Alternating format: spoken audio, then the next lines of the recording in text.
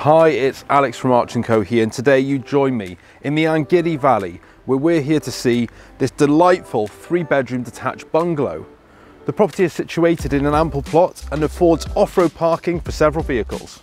The Angidy Valley is located on the fringes of the village of Tintern, which affords a range of local businesses including several pubs and restaurants. It also hosts the historic Tintern Abbey. So welcome to Underwood Bungalow. Let's get inside and take a look. Coming into the property, you're first of all greeted by a spacious entrance hall.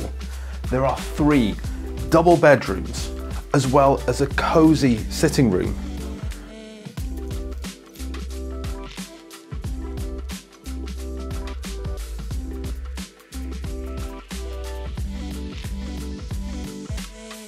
To the rear of the property, there is an open plan kitchen diner as well as a family bathroom.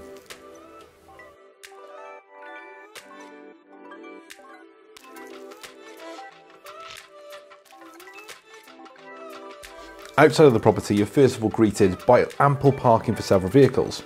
To the rear, there is a private patio area, which is enclosed by a historic leat, which used to feed the wireworks just down the valley. So if you're looking for a quaint bungalow, located in a quiet location, then look no further get in touch and arrange a viewing with one of the team.